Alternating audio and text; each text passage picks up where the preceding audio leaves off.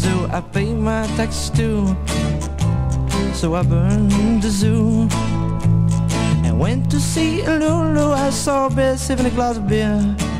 The lion thought he had his kingdom back. And slapped his taxes on their back. Except he jelly in the sky. He was way up high.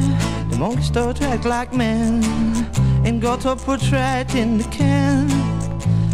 Giraffes cleaned the trees of the birds and the bees. The time I burned the zoo was pretty fine too, but at least I made my point and cut loose on the joint.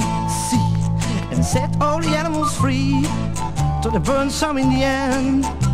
They all blamed me, but I was heaven sent and I had time to repent. If you look for more in my story, don't force any before get you tired and boring. It must be the end.